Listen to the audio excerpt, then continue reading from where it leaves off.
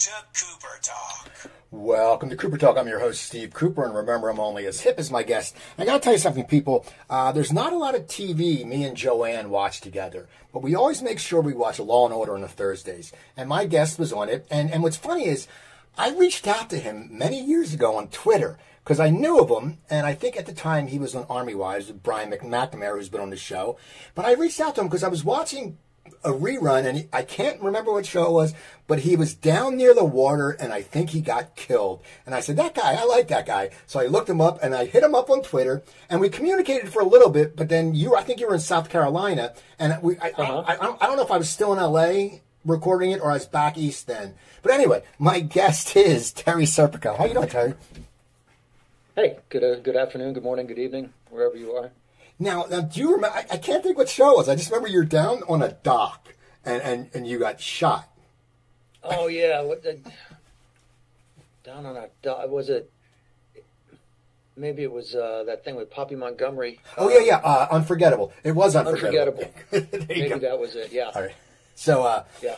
So, so I got to let's, let's, let's talk about Law and Order first. I want to talk about your career, but you've been on Law and Order, and you've uh, how did how did that role start? And when it started, was it you know you you've been on a few different variations of Law and Order. Uh, yeah, I did. If you take the uh, the franchise as a whole, I've been on. I've portrayed seven different characters, um, from in all the platforms, like uh, from uh, Criminal Intent to Special Victims Unit to the Mothership. Um, um, but this one came about uh, playing uh, Chief of Detectives Tommy McGrath on uh, last few seasons of Special Victims Unit. Um, I was up in Beacon, New York, uh, standing in my garden, puttering around, and uh, my agent called and says, "Where are you?" Because at the time I was kind of splitting myself between South Carolina and and New York. Um, and I said, "Well, I'm in the garden." she says, "No, no, no. What what state?" I said, "Oh, okay. Well, I'm I'm in New York." She says, "Can you can you be in the city in an hour? They want to COVID test you." And I was like, uh, "No, I can't be in the city an hour, but I I can be there in like three hours." Um, and she's like, "All right." Let me get back to you. She calls me back. Says, "All right, yeah, can you get down there?" And because uh, they they want you to start working tomorrow. I was like, "Wait, who who's they?" oh, it's it's uh, it's it's Law and Order Special Victims Unit. They they you know they had somebody uh, who actually caught COVID, somebody who was who was in the role, who um, contracted COVID and was unable to work. And this was in the, the midst of our our COVID joy and wonder. Um, and so uh, I went down there and I tested, and I went back the next day. Went to work. Um, and it was supposed to have been a couple episodes, you know, where I was playing the chief of detectives and we were we were running our uh, the, the, the current head of of SVU, uh, Demore Barnes, I think, played the played the role. I forget the character's name, but um, he had he had run afoul of the administration somehow, and so they were. I was I was the administration that he was that he had run afoul of. Um, and so uh, it was supposed to have been a couple episodes where they kind of moved him along and brought someone else in, and then I just uh, I stayed. I refused to leave, and so they, they found things for me to do. now, now that you said they called and it was an offer. Now, at your point in your career, do you get mostly offers or do you still audition? Because I know people like that still, like Patrick Fabian. He still auditions, and he was on Better Call Saul, who you probably ran into on auditions all the time in L.A. But uh, but do you still do you get do you still audition, or, or are you getting all offers now? God, I wish I could say it was offers, but no, sir. I audition um, the way I always have. You know, you go and you, you your agent sends you uh, an audition request, and you know, should you uh, should you accept the assignment? You know, this is this is this is your mission. Um, and so, I, yeah, the, my agent sends me the submission uh, uh, audition requests, and I try to fulfill those requests as best as I possibly can do the best work that I can between my, my wife and myself. Uh, most the, the vast majority of the time at this stage of the game in this industry is uh, self tapes at home. So you know we move the living room furniture around, you know, make room and hang the backdrop on the wall and set up the cameras and the lights and do the whole nine yards. But um, very rarely, even still, very rarely do it. Is it just a straight offer? Um, occasionally, if it's if it's the kind of guy that I I have made a living playing, and um, you know, hopefully we all know what that is. But I generally have uh, that that kind of assholey command presence, um, which thankfully I, I'm, I'm pleased to say I, I get out all of that in my work. That's that's not me personally by any stretch of the imagination, really. Um, although I must have my moments, I guess we all do. But yeah, uh, so we, we uh, I taped them uh, at home, and uh, you know, kind of as is the nature of the business, kind of go with hat in hand and say, okay, here's here's the work that I've done. Do you want me to do it on your show? Know? Now, now personally, and I, I've asked a lot of actors this, and there's different answers. Do you prefer in room? A lot of actors who've been around for a while like the in room because that's how they came out. Because there was no, there was another, you know, a long time ago and then you know, but some of them do like the self tape, but they always like the spot noted being in room with the producers. What do you prefer? I mean, because you've gone on a ton of auditions, but what do you like better? Oh goodness, um, I guess I'd have to say at this point that I, I, I like the self tape better because that is that is the industry standard at this point. Um, and also, you do have the luxury of being able to uh, prepare at your leisure. Um, given if you're given enough time to prepare the material. Um, you don't have to travel to get there, so there's that that stress element is removed. Uh, you don't have to worry about getting there on time. You don't have to sit there in the waiting room for two hours because they're running behind. Um, you don't have to deal with other actors who are pacing in front of you, learning their lines or, or you know, doing their shtick. Um, and then you get one more than one crack at it. Which you know, when you're in the room, you can generally say, like, can I try that again? And they're more than willing because everybody wants you to do well. Uh, and they want you to do well on self tapes as well. So I, I find that um, I like self tapes a little better at this point, and it may just be because I've I haven't had an in person in so long. Um, I I always enjoy auditioning. I still enjoy the audition process because it gives me and my wife an opportunity to work a little bit together and to to to kind of do a little bit of work. It's you know it's it's something to do, um, and it's it, the the exploration is joyful, but um, I, am not sure that I miss uh, traveling to get to uh, small little rooms uh, to stand on the other side of a desk and uh, and and try to impress somebody. Now, now you met your wife on Law and Order, right? We did. We met on, on the set of Special Victims Unit. Now I want to hear this because it's funny. You just said I always play an assholey character, so she probably didn't. I mean, I don't know if she knew before, but she's probably like, "Man, this guy's an asshole." I mean, uh, tell, tell me, how did you guys meet? I mean, this is great. How did you guys meet? Um, we, it was in a scene. We were in a, we were in a scene together. Um, I was giving a press conference, as was the common occurrence with uh, with Tommy McGrath. And uh, so I'm standing at a podium speaking to the press, and then I pass the mic to my colleague Olivia Benson. So I step back to let Mariska into the podium, and as I step back, I step on this young lady's foot. I literally stepped on her foot, and you know we call cut eventually, and so I had the opportunity to apologize for stepping on her foot.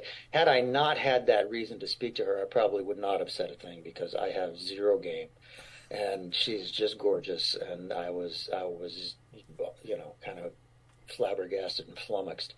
Um, but we started talking in between takes and in, in between setups, and um, we had a lovely conversation. This was still during COVID, so masks were on and stuff. But at one point, I kind of stepped back and I took my mask down because there was just something I just wanted her to see me, not to try and impress her with all that is me, because it ain't all that. But I just wanted her to see me and I think I still want her to see me every day. You know, just the real me.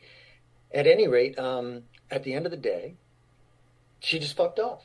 She just disappeared. It's like like I meant nothing. at any rate, um, I found out uh, her, her contact information through her uh, through her manager. And I left an email with her manager saying, Hey, look, I just met your client today on set. We had a lovely conversation. I'd like to continue that conversation. Here is my information should she like to get in touch with me. And uh, Katia got back to me uh, a few days later and said, Oh well, it was nice to nice to talk to you. Thanks for getting in touch. You know, it was kind of like a very. Um, so it, it, it, it took us a little a little time to get to the point where um, she she said, "Okay, uh, give me a call," because I texted back and forth a couple of times. I'm like, "Oh dear." So I call her and she says, "Look, uh, I had asked her out. She wants to go have a drink. She says, I don't drink. okay. I don't date people on set. Okay. And I'm not interested in getting into a relationship. Okay. I'm down with that. I was like, okay. Anything else? Um, so we, we we dated about a month later, and then she she went to visit her family in, in Europe, and and uh, came back, and we started dating in earnest, and and um, then we were married within the year. That's awesome. You know, you said about pandemic. Me and my wife got married, and six months later, we went into lockdown. And it was one of those things, you know, it was like, thank God, Oh, wow. thank God we've been together for a while, and she moved to LA with me, and then we moved back.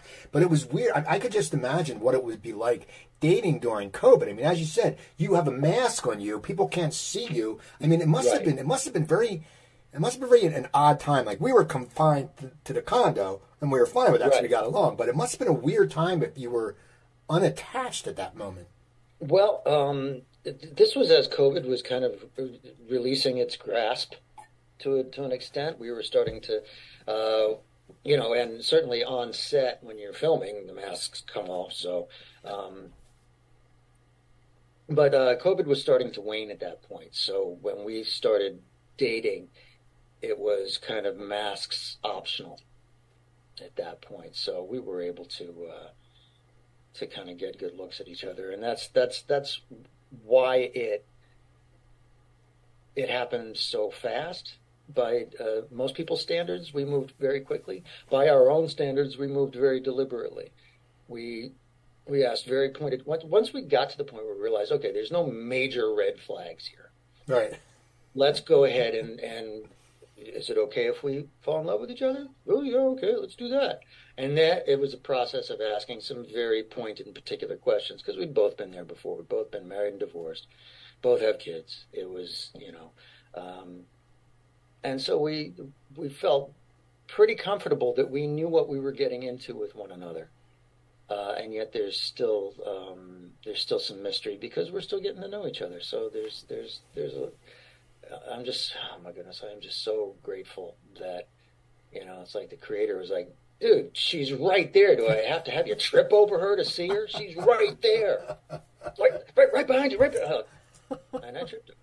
So you've been acting for a long you've been acting for a long time. How did you get into Yeah. acting? Now I, I saw somewhere you, were you a military brat?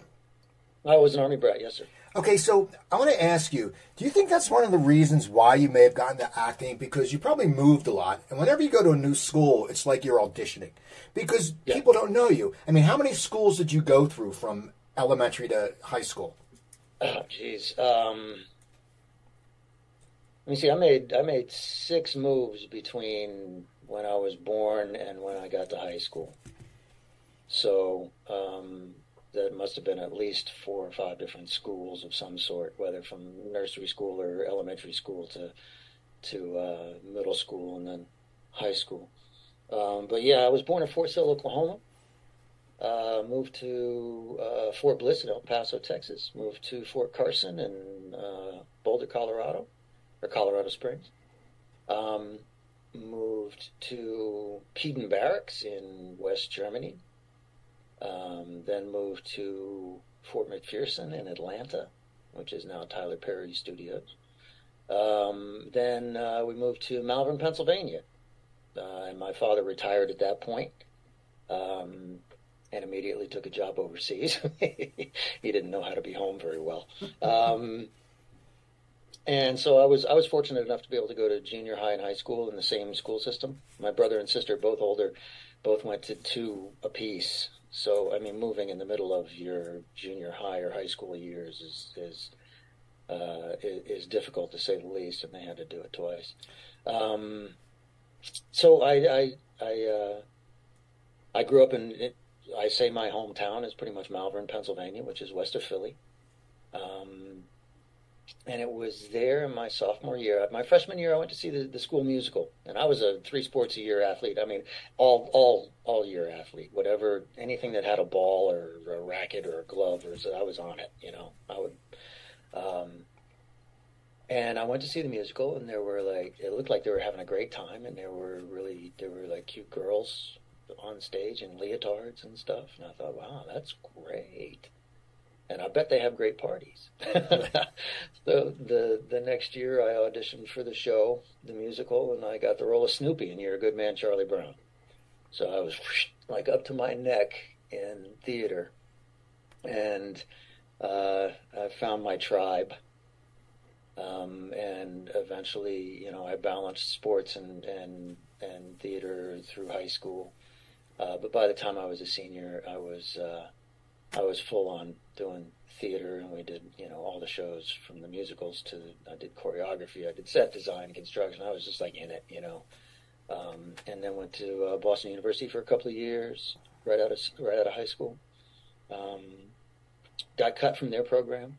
Uh, it was a kind of there's a, a, a group of schools around the country. I'm not sure if the league still exists, but it was the League of Professional Theater Training Programs and uh, part of their mo was that they would reduce their the student numbers every year uh, in their conservatory environment to try to increase their student to, to teacher ratio, and you know make it uh, you know a smaller company moving forward year after year. Either way, I was on the outs at BU after two after my sophomore year. Uh, kicked around Europe for a while, came back, uh, and went to SUNY Purchase and got my degree from SUNY. Graduated in '89 with my my BFA and moved to the big city. Now, now, when you were in college, did you know this was going to be your career path? Because you know, sometimes people will go for acting, and then they get out and they go, "Holy shit, this is really hard." You know, they, they don't expect it because in school a lot of time they don't tell you, "Hey, here's what you have to do." They don't tell you how to get an agent or how to deal with the rejection. So, I mean, no, they don't. exactly. So, a lot of times, like I think a lot of people will go to school thinking you know, let's say they get into a good program and they're like, oh, this is a cakewalk. Oh man, yeah, I'm, you know, and then all of a sudden they get in the real world and they go, I can't get an agent. What am I going to do? When did you know right. you wanted it to be your, when you went to college, did you say, I'm going to be an actor or, and you weren't going to look back or did you have second thoughts or what? Oh man. When I chose to go to school for acting, it was a ridiculously unconscious decision. I don't know what I was thinking, quite honestly. I had been I had been doing this in high school, and it, it really flipped my switch. And I just so when I started looking for colleges, I was just looking for theater training programs. I didn't really make a conscientious effort to say, "Okay, this is what I want to do. I'm going to be an actor. I'm going to pursue this, and I'm going to be, you know, the next big star." It was just like, "Oh, this is what I'm doing." Okay. Um, and I continued to go along in that thoughtless kind of la da da da da da da, just stumbling down the road uh, until I graduated SUNY Purchase, and then I, you know, um, realized at that well at, at, that point when I graduated SUNY, uh, we had this kind of presentation at the end of our training uh, at the end of four years.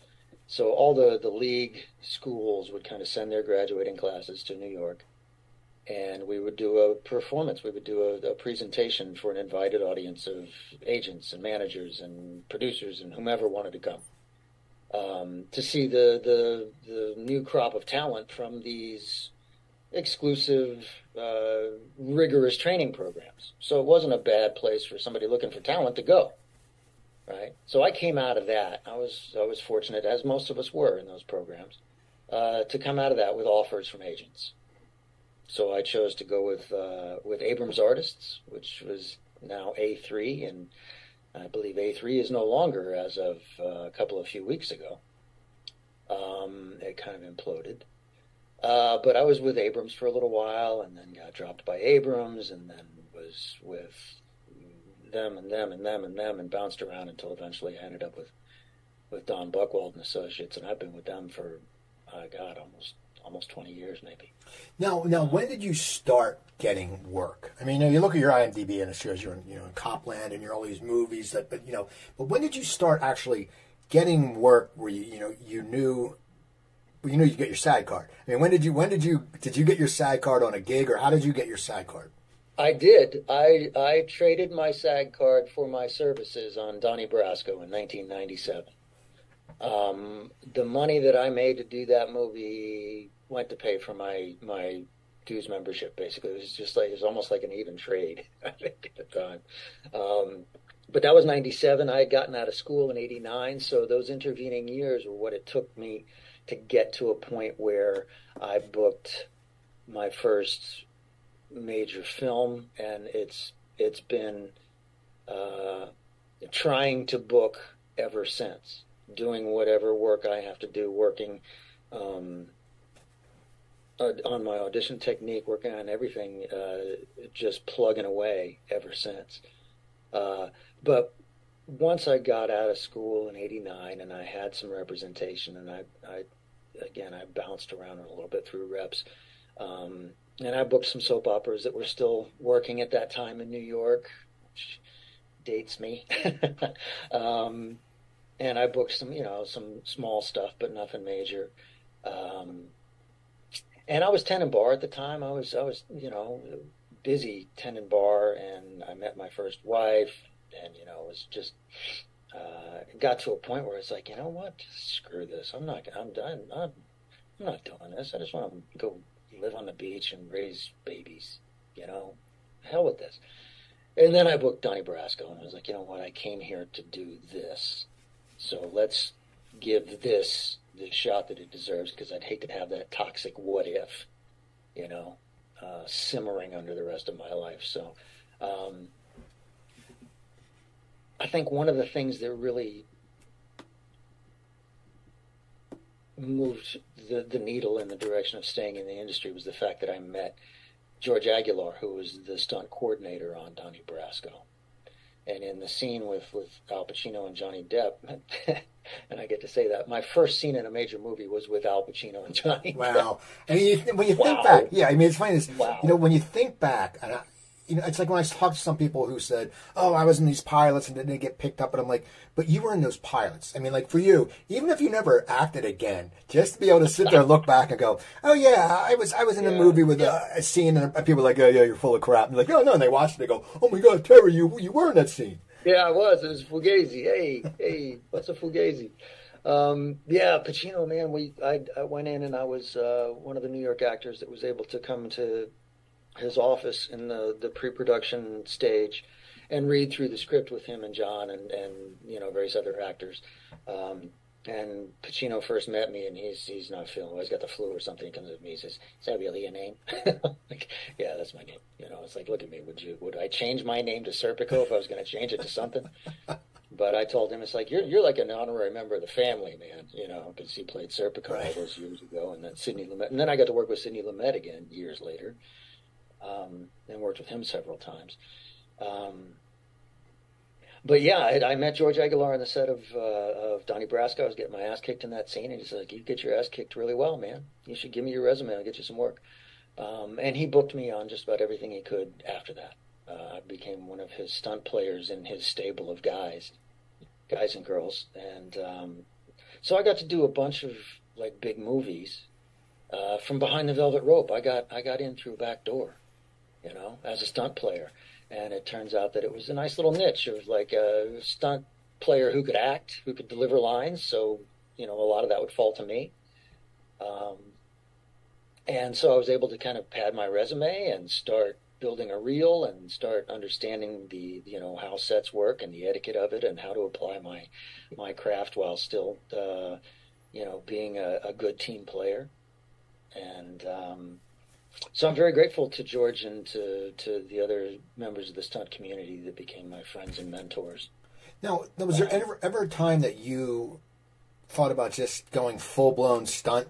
Because you know, if it's con, oh, yeah. if it's if it's if it's as I said, it's you know you're in with this guy, you're good at what you do, and you know how to act. So you you have a certain level, and it's work. I mean, bottom line is you know it's all it's you're going to always work. So did you ever sit there and go, I think I might just stop the following the acting and just follow the per, you know stunt because I can move up the ladder and maybe end up being a stunt coordinator. Did that ever cross your mind?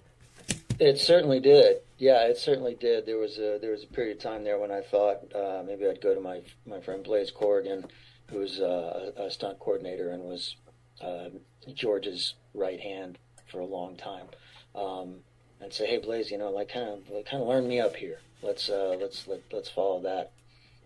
Um, but uh, it's hard on the body. it's uh, stunt stunt work uh, is supposed to look dangerous, not be dangerous, but you can still get pretty banged up. Um, and I took a couple of knocks, and and it's like, uh, okay, um, maybe this isn't a, a long term job prospect. And also at that point, things started to move on the acting front. So um, it became apparent that um, my energies kind of needed to go there. Um, you know, there's there's still days when I think, geez, maybe I should have just become a stunt coordinator. I'd still be, you know, going to the mailbox and and pulling checks from all those movies that I, you know, that I, you know, had a hand in. Um, I think I, I imagined for years that so many of these uh, these stunt players that you see, you know, sometimes I can see them in movies and I'm like, oh, somebody he, he's going to get punched in the face. You watch, because I know that guy and he always gets punched in the face. But he goes to his mailbox and it's just stuff full of residuals because of all the movies that they've done.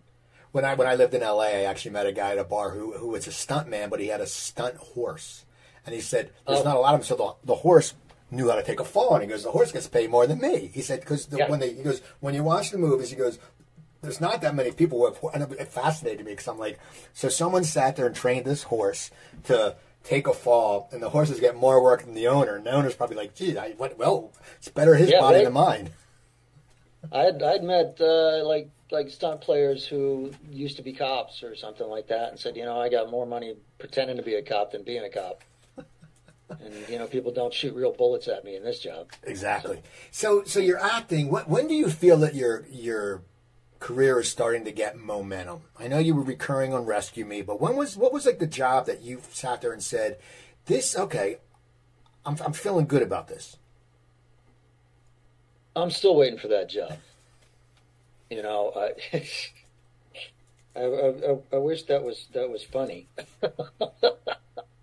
um, no, I, I think that's kind of the curse of the actor in so many ways is that, that we're we're always waiting for that that sense of security, that sense that oh, okay, I've I've made it, or um, you know, I, I don't have to worry at this point. It's still it's still a hat in hand industry, but. Um, in answer to the question, probably Army Wives was uh, was a big uh, was a huge turning point for me. Uh, to to book a show and then to become a series regular on that show really moved me several rungs up the Catch Twenty Two ladder, um, and um, gave me the confidence after you know over hundred episodes to to to really kind of start growing up as as, as an actor and, and learning the lessons that the industry had been trying to teach me for so long. What do you mean when you say that? Growing up as an actor.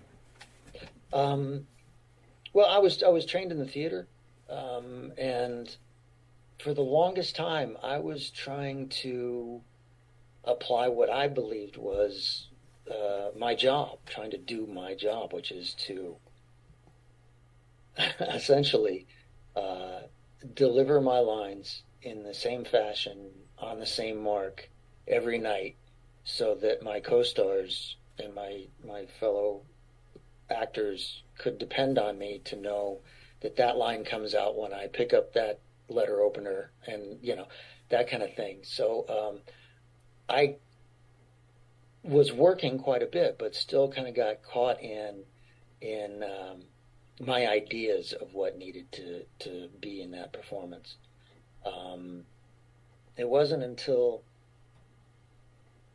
geez, I don't even know when, but it's it, it always feels like a lesson I just learned, which is my job as a as a film and television actor is to give the editors a bunch of stuff to work with. You know, before I was trying to do the best performance from action to cut, you know, and you know have it all be there, and it's like you know what, it it doesn't, it's not all in there, it's all in all the takes, and then they will determine what all of it is. So it took me a while to grow up as an actor and realize that my job is to provide footage for the editor. Now, Um, now, how did Army. Wives come? Good, sorry. when I see young actors now and I see them on set, and they, you know, um, that often is the case with, with guest stars and stuff on, on Special Victims or various other shows. I always try to impart that a little bit. It's like, look, your job is to just give them a different take each time. Don't change your intention so much. Don't try and change the language. Just change how you come into it and see where it goes so that you're providing the editors with options because they love options. So, how did Army Wives come about?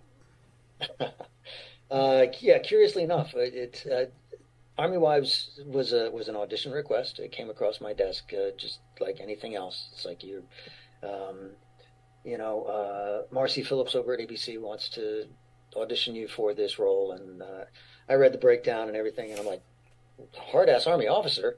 I know that guy. I was raised by that guy. You know, um, the dude's name was even Frank. My dad's name is Frank. He was a he was a hard ass army major, and my dad, before he was a hard ass army colonel, was a hard ass army major. So I was like, I got this. Um, so it was an in person audition. I went in and I read with Marci, um, and she thought it was great. I felt pretty damn comfortable about it. And then I got a call from my agent. It's like, oh, they'd love to fly you out to L.A. to do um, a screen test for for this this show. Very exciting. So I flew out to L.A. and they put me up, and I I, I went and did a screen test. They're more of like a chemistry read.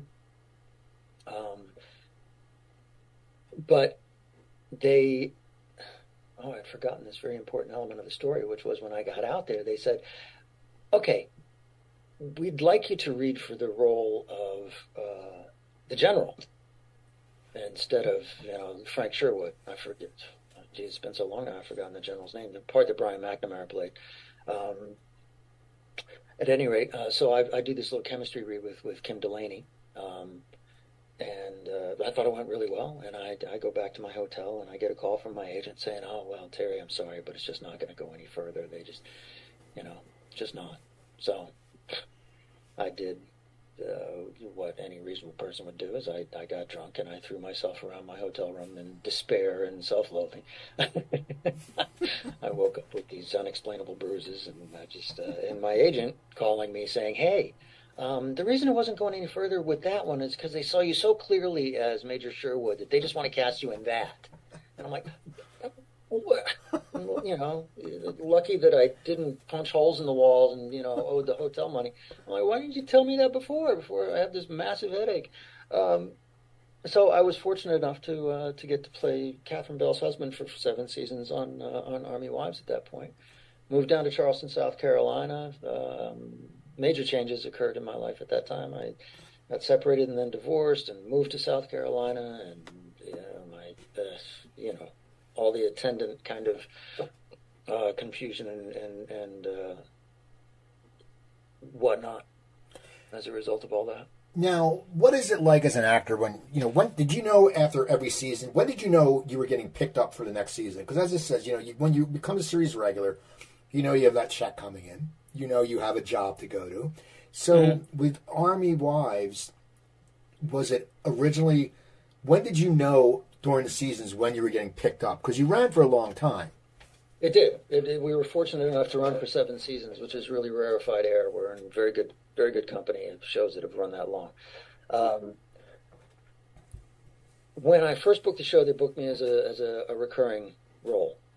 Um, but I think that they, when they first started the show, they they assumed it was going to be driven primarily by the storyline of the wives, hence Army Wives.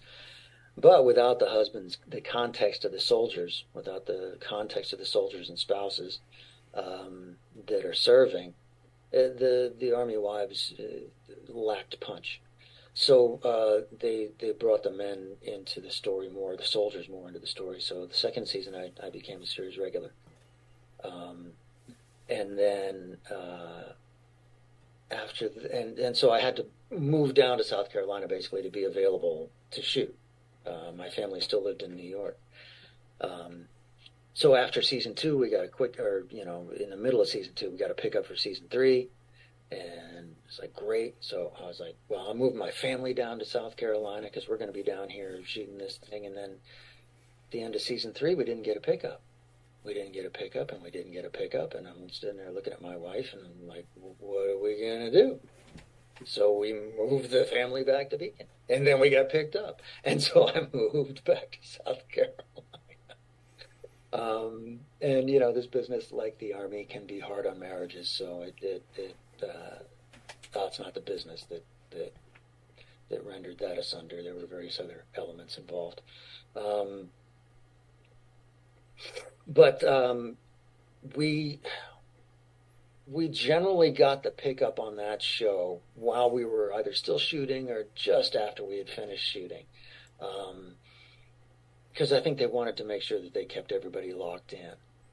Um, and then there was one season, I forget what season it was, where they weren't sure if we were going to get picked up again, so they, they just they paid us extra to extend the season for ten episodes, and that became uh, the beginning of the next season, uh, what might have been the entire next season, and then it just disappeared. It's like we they we shot season seven, we brought in a bunch of new faces as the army does, so it makes perfect sense. Um, some of the original cast had cycled out, and we brought in some new faces, and it was you know it was, it was going relatively well. But then Lifetime changed hands in terms of ownership. I think it went from ABC to to Disney or something. I, am not exactly sure, but it was it, it happened at a at a, a corporate level, and um, regardless of the success of Army Wives, I think the new ownership wanted to imprint their their own kind of DNA on the new Lifetime, um, the rebranding, and so uh, we did not get picked up. We did not continue. Um, and there really was it was kind of left in the air. There was there was no real closure to the show. There wasn't this the, the writing that would support that okay this is going to be the the series ender anything like that. Um, and honestly i think that that show could probably still be going today. Um, because you know i grew up in the military. Every three years you moved. Your dad got stationed somewhere else and they brought somebody else in who lived in your house you know uh, so it would have been easy enough to just have this kind of rotating cast or this this moving cast and just continue to uh, to to mine uh, the experience of, of growing up in the armed forces um, and bringing that to the screen. I think that's one of the things we did so successfully was to was to show what it is that the families go through uh, being married to the army. Now, do you hit some depression after that? Because it's it, it's like your family. You move down there. You've been with these people for seven seasons, so you probably you know the crew. You know, you yeah. know the you know the crafty person. You know the the you oh, know yeah. all that. So you get to know them, and and it's and I've talked to people who said it's like a family. You feel like a family because everyone's everyone's in a good mood because their jobs are secure. It's not like you're walking yes. walking on eggshells. So when no. it comes when it hits you, it smacks you right in the ass. No out of nowhere. What what did you go through? I mean, was it was it something? Did you were you pissed? Were you upset? Because as you said, it could have been going for a long time, and you know the military life, so you you you know it more than the actual people who are from the network. You know how it works. Mm, yeah. Um, yeah, it was it was it was upsetting to say the least. I mean, I, you, you, get very used to to having a job, and you forget what it is to be um, continually without one. Um, and we were all down there in Charleston, which is a beautiful town. Um, and we were all like just uh, kind of perennially on location. We were it, it was like this this uh, we became one another's friends and playmates and cohorts and we'd golf together and go bowling together and we'd do you know have picnics together. We we were all we hung out a lot. Um, and of course, we got to know all the crew because they were local. Um, so when the show left town, um, I stayed. I I I had um, at that point I had fallen in love with a, with a, with this woman, and and you know, well, my entire life used to fit in my Volvo station wagon. All of a sudden, I'm buying furniture, so things changed for me. Um, and then I then I, I booked another show called The Inspectors, uh, which was actually shooting in Charleston, which is surprising since Army Wives was the only game in town when we were there, and The Inspectors was basically the only game in town while we were there. Um, but this was a Saturday morning, uh, educational inf- informational like kids show. Um, it was uh, it's called the Inspectors. It's based on the Postal Inspection Service, which is the oldest federal law enforcement agency in the country. Grew out of the Pony Express, um, and the post office apparently had a relationship with the producer. He had done some some uh, public service spots for them or something, and so they said they went to him and they said, "Look, we spend all this money every year making these posters to put up in the in the the, the post offices to to explain to people the various things that can that, that can be of danger to them in the mail and what they should and shouldn't do and things like that. How about if we give you that money that we're spending on these damn posters that nobody reads and we make a TV program and we you know we we do a half hour procedural about uh, stuff that the Postal Inspection Service has, uh, wants people to know. And so uh, we did that for four seasons, and I directed seven of those episodes. It was a half hour uh, family, light family procedural. It was a really uh, it was scripted. It was a very odd kind of bird to have on uh, on CBS on a Saturday morning. Uh, but it, it did pretty well. It, I got a, a, daytime Emmy nomination for it, and it, it, won several daytime Emmys for you know it was it was good programming. And then that just disappeared. They just uh, packed us up at the end of season four because we had to vacate the studio space. It had been leased to someone else. And they're like, all right, we'll just pack it up and put it in the in the shipping containers, and we'll we'll store it, and then we'll we'll move it to the to wherever we end up. And we just never heard again. So, what made what you decide? Industry. What made you decide to direct? Did they ask you, or is it something that you had wanted to do? When they first approached me about doing the inspectors, uh, they wanted me to be the the oh, very similar to the character I play now, the guy that shows up in the big black car, yells at everybody to do their job, and then leaves. You know, um, and I was like, yeah, okay, I can do that. That sounds great. Um, but I want to uh, I want to direct. Yeah, that's it. You know, it's like I'll do it, but I'm gonna direct. like, okay. And then uh, we started. They started working on the, the, the episodes, and they they came back and asked me if I'd play uh, one of the leads. I said sure, but uh, the directing stuck, so I managed to uh, to uh, kind of cut my teeth on seven episodes of that show, which was a trial by fire because it was a half hour show, and by the time we got into our fourth, se- our third season, they were giving us two and a half days to shoot one episode. Um, so there were days when I would shoot eleven scenes. I mean, just flying, just flying, and it's, uh, guest stars would come in mostly from Atlanta, and I'd say, "Look, just so you know, we move very quickly. So if I've got it, I am moving on. It's no reflection on you. If you desperately feel like you need another take, let me know. But if I feel like I've got it, I've got to move on because I've got seven other scenes to shoot before lunch. You know, Yeah. like that kind of shit. So after that, you know, you, you look at your IMDb. You've worked on some really, through your career, some great shows. But in the last, you know, years, uh, Designated Survivor. How did that role come about? What and it's and you working with Kiefer. I mean, what is that? What is that like for you? Uh, well, Designated Survivor was was was a real uh, was really sweet because um, Jeff Melvoin, who was the showrunner on Army Wives, became the showrunner on Designated Survivor, and uh, I just I had shot him an email one day just just because we'd become friendly enough to be able to email back and forth, and I was like, you know, how you doing? What's going on? You know. Um, and he said, uh, why don't you audition for the show? And so uh, they sent me an audition for, for Designated Survivor, and I, I booked it, and I ended up doing like seven or eight episodes of that. Um, was very fortunate uh, to get an opportunity to travel up to Toronto and shoot that. Um, the way the show was set up, the way my character was set up in the storyline, I really did, I didn't work with Kiefer. I was always like in some bunker somewhere. I was always the guy they couldn't find, you know. Uh, so I, I, I spent a lot of time um, with with me on set alone. um, also at the time, geez, I had a my my knee was all blown out, so I was hobbling around on crutches for a good part of that. Was that from doing stunts, or how'd you blow your knee out? Uh, geez, that time that was uh, that time. Oh yeah, I was just I was I think I was running and I just hit a low spot and my hyperextended and just went and squished my meniscus. You know. Uh, now, I, I've had both of my knees operated on. Yeah. Now, now the also Yellowstone. Tell me about your experience on Yellowstone because these are these are popular popular shows you're on. These are big shows. These are big shows. I've been very, very, very fortunate to work on some of the shows that I've worked on with some of the people that I've worked on. There's no doubt about that. Um, Yellowstone again was a, was an audition that was that was sent to me as a, an audition request, a self tape, um, and I think they booked me before they booked. Um,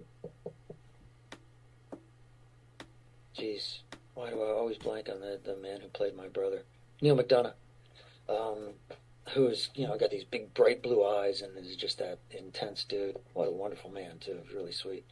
Um, but uh, that was just a that was that was an audition that that went my way, and um, so I got an opportunity to work with Kevin Costner and and uh, and Cole Hauser. My God, he's just so perfect for that role of Rip, just unbelievable. And we were shooting in Park City, Utah, the first se- the second season, which is the season that I was in. Uh, me and Neal McDonough played brothers who were trying to to take uh, the Dutton Ranch from from Kevin Costner's character and his family, which was a no-no. They, they dealt with us in the way they dealt with all their other problems, which was generally just shoot first and ask questions later. Um, it's, it's it's man, just great storytelling, beautiful place to shoot. My sister actually lives in Park City, so I got to see her quite a bit. We shot up in Montana as well.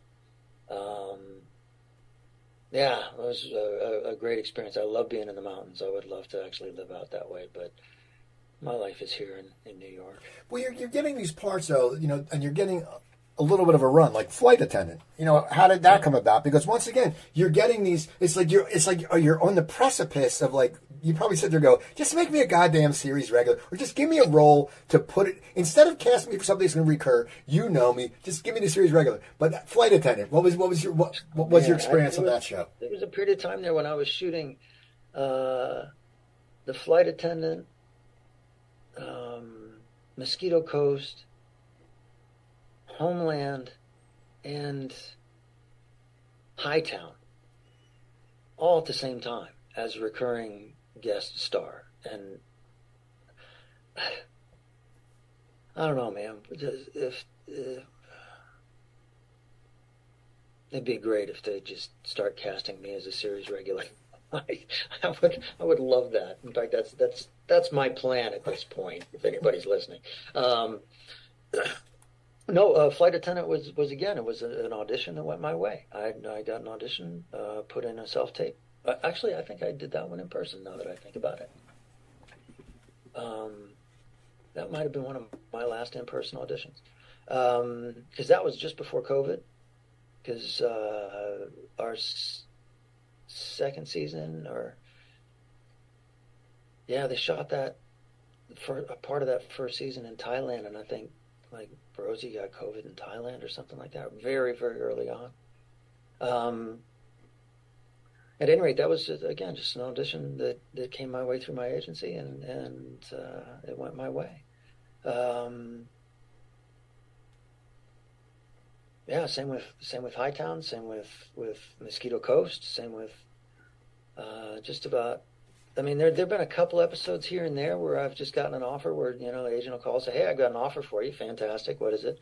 Well, it's this asshole who comes in and yells at people and then gets back in his big black car and goes home. Right. you know. Oh, okay. Yeah, it's a, it's a one episode guest star spot with a possible recurring. Oh, okay. You know, it's more money than I had yesterday. Now, now tell me about Cobra Kai because that's an intense scene. And dude, you're you're jacked in that scene. Like you're ripped. Like I mean, seriously. I mean, did you, how did I guess it worked for you because you are you know stunts, but that's that's that's a real. Tell me, take me through that scene because it's a physical scene, and I didn't know then that you did stunts. But you know, uh, did you did you have to like? Are you always that ripped, or did you just like get ripped? Uh, no, I, I'm, I'm, I've always been athletic. Um, in fact, I, I, I, look at that, that footage from Cobra Kai and I was like, oh my God, I was carrying around so much weight in that. Uh, I've actually lost about 20 pounds since then. Um, and now I, now I box every morning. Um, but uh, I, I had taken uh, karate many years ago when my son was young. Um, and I was taking him to karate. And I was like, well, I can't just sit around and do nothing. I'll do it too. Um, but I, you know, I, I got like a second belt. I went from yellow to orange or something. I never, you know, kind of pursued that. Um, but when Cobra Kai came across my desk, I was like, what is this? You got to be kidding me. Um, I, I, I thought it was just kind of silly.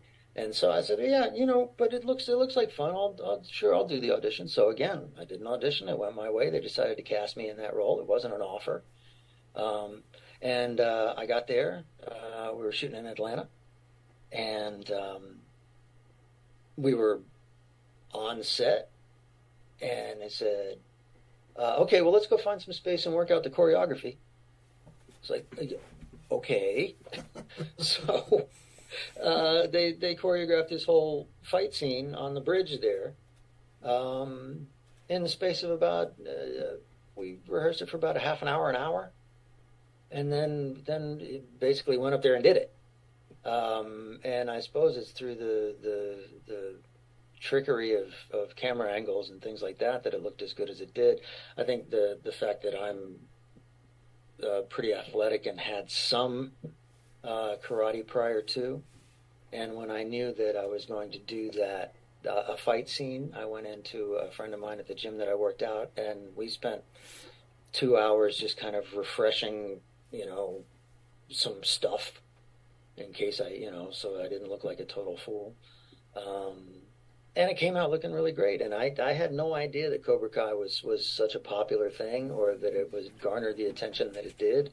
Um, but people love that show. Um, and it's, it's remarkable how well written it is and how they managed to take that iconic movie, the movie series, and those characters, and then to bring them forward in time like that. It's it's really a testament to some very creative people, and um, I've been I've been very very proud to have been a part of it, and that, that people identify with it so much. Now, back to SVU. Are you done? Are you done on that show? Because the last time we saw you, you, you had a you had a gun on Doogie Howser's best friend son. Yeah, right. it's like it was like a total breakdown. Like you, you know, you and that's the thing about about the character. You you are a hard ass, and but they address that you had some anger issues. They they they address that stuff. But then at the uh-huh. end, that's the last thing. I mean, we, me and my wife were saying, yeah, he might freak a little. We never thought you were going to come out running out with a gun. I mean, we never thought you'd like be freaking out. But I mean, did did you know that was coming up? Like, what was the build up to you sitting there all of a sudden getting, you know, in trouble? Well, I got I got a call, uh, you know, and and they said, "Look, we're not writing you out, but oh, okay." Um, you know, it's like it's like uh, your character is going to go through something here um, that's going to get him in trouble with uh, with the administration uh, within the police department, um, and he's gonna he's gonna get demoted. I said, "Oh, oh, Okay.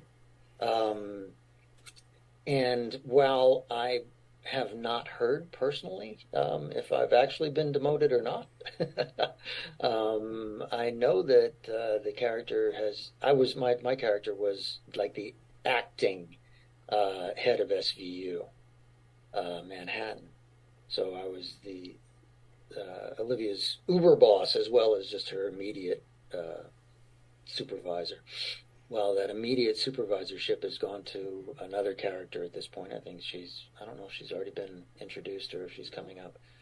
Um, and what happens with my character, I honestly, I don't know. I really, I really don't. Um, I'm, I'm assuming that, uh, that I'm done, but uh, this was only supposed to have been a couple episodes in the first place, so I have no idea.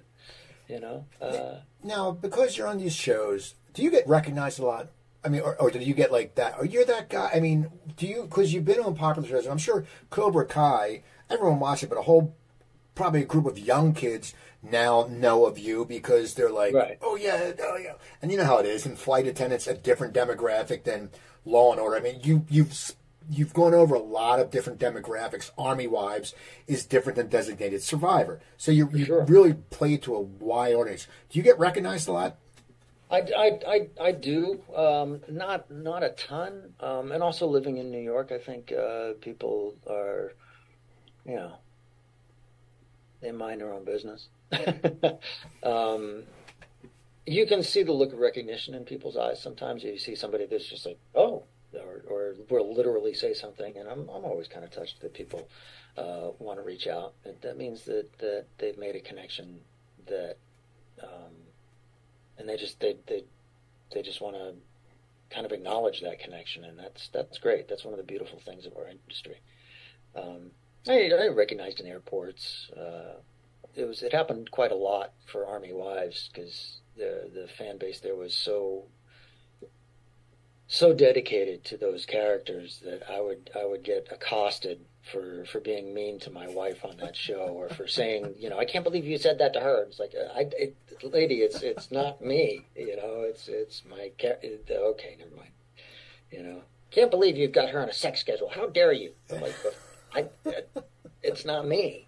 That, that always cracks me up when people, you know, there's this story where people like try to beat up James Garner during the Rockford Files to see if he's really a tough guy. It's like, no, I just, I, I write this. Now, in your career, what, what character that you've played are you most proud of? Is there one that you are very proud of? I mean, you've played so many great characters.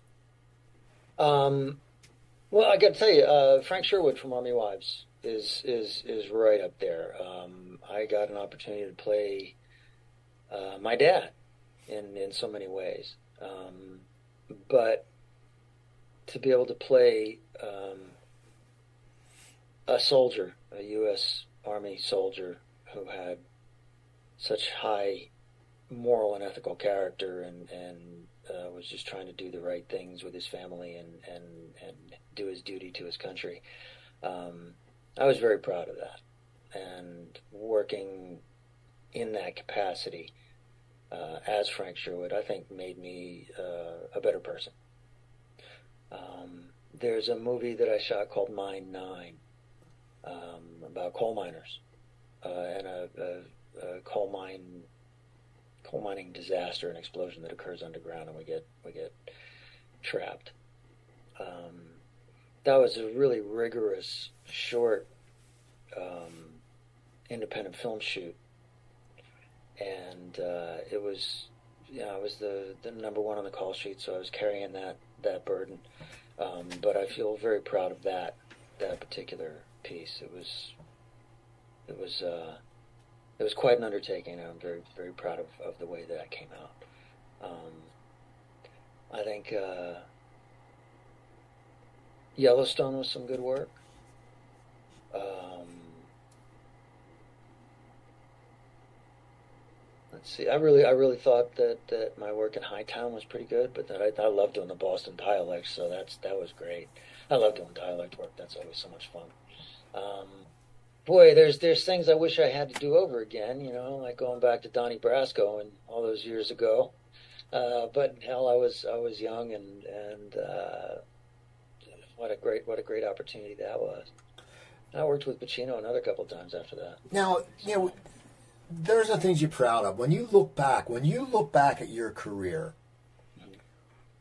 what are some things that are just you instill in your memory? Like you go, holy crap! Like I mean, working with Pacino and Depp on your first movie is like a oh wow, holy shit moment. But what are just something Yeah. that made you that you look back and go, no matter the rejection, no matter what what an actor goes through, is people don't know. Like actors have it harder than any salesman out there. Like you guys go through but looking back, what has made this your career path made it a few things that just has made it worth it, worth be able to say at the end of the day, I'm a working actor, and this is what I do. There's been ups, there's been downs, but what did you look back and say, man, this this makes it all worthwhile? being able to say that, being able to say that I'm a working actor and that I've been able to uh, support my my family uh, for all these years as a working actor. Um, but there were, for instance, um, during Army Wives, there were a couple of times when uh, to two times I can remember where a woman approached me and said, uh, "Your show really helped us get through our son's funeral." Um, that because um, their their their their sons both happened to have been in the service and were killed in the line of duty, um, and that that really strikes you, and it really really struck me that this is this this industry, this business touches people in a way that uh, cannot be underestimated and cannot be trivialized. It has to be given respect and it has to be given uh, reverence to a certain degree because it's while we're used to kind of playing in the, the, the realm of the emotional as actors, um, for the general public, um, if they connect to the material, they connect to us, they connect to the storyline on an emotional level, then that is that is a, an honor, um, and that has to be given its its due respect. Um, yeah, I think uh, moments like that, um, just just moments. You know, it's like when you're um, standing years ago after a Sidney Lumet movie, um, "Find Me Guilty," when Vin Diesel came out. It was a true story about mobsters who were being tried under the RICO Act, and one of the mobsters decided to defend himself, and was actually quite successful. Um, and so it's a Sidney Lumet movie, and I'm I'm playing a, a uh, what was I, CIA or something or FBI, and I'm testifying, and I say, you know, hey, yes, how did how'd you know these guys were were were mobsters, were Italians? I said, you know, walks like a duck, quacks like a duck. Chances are it's a duck. So I'm standing on Eighth Avenue outside of the Penn Station at one point or something, and this truck rolls by, and a guy leans out the window and says, "Hey, quacks like a duck." like, okay okay, it's like you're that guy, right?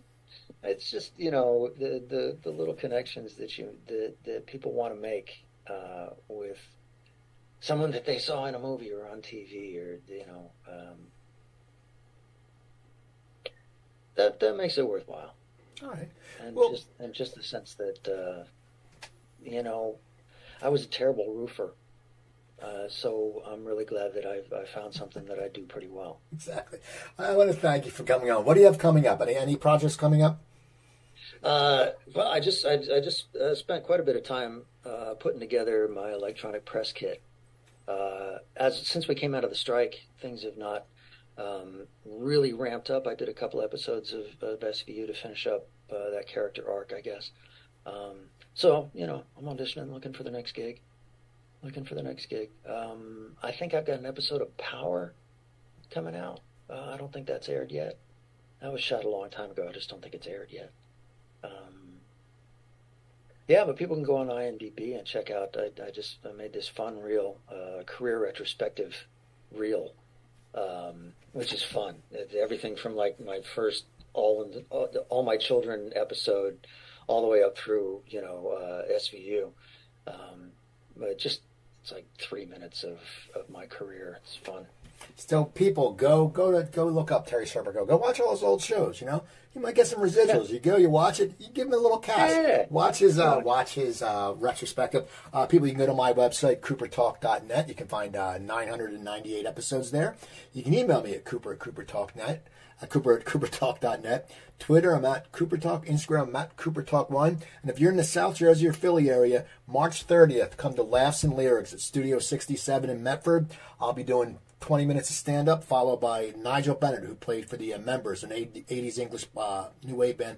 He'll be doing an electric acoustic set for 30 minutes. Then we'll do a 20 minute conversation about his time in the music in the 80s. And he's really good friends with Adam Clayton from U2, so it's going to be a great night. You can email me to get uh, details of that. It's $20 a head, and it's BYOB. So once again, uh, check out Terry Serpico. I'm Steve Cooper. I'm only as hip as my guest. Don't forget, drink your water, eat your vegetables, take your vitamins, and I'll talk to you next time.